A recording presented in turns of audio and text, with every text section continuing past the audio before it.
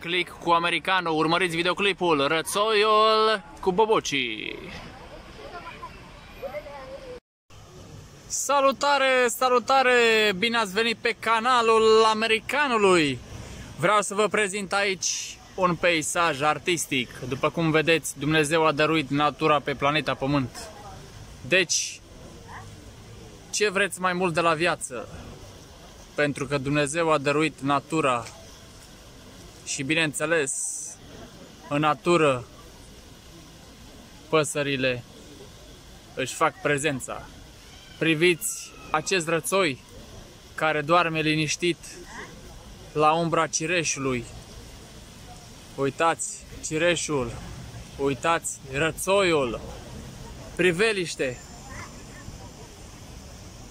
peisaj artistic de vară. Suntem în luna septembrie 2019. Ne aflăm la Paris, pe Republic, în parcul Alexandru Americanu. Ce mai vreți? Bobocii sunt pe cale să-și facă apariția.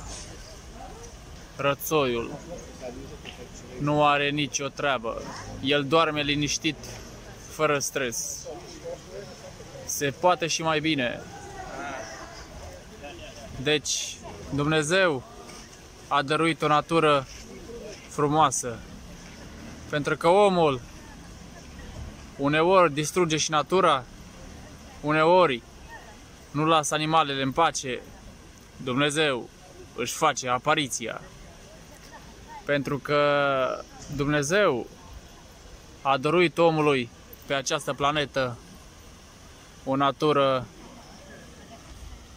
frumoasă, pentru că această natură este plină de vietăți, de animale sălbatice.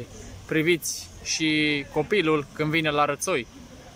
Deci, un peisaj artistic vreau să vă prezint aici, un parc undeva la Paris, deci,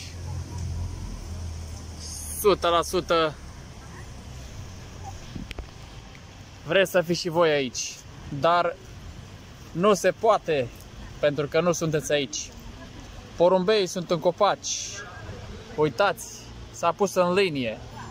Zboară. Deci rațele se scaldă.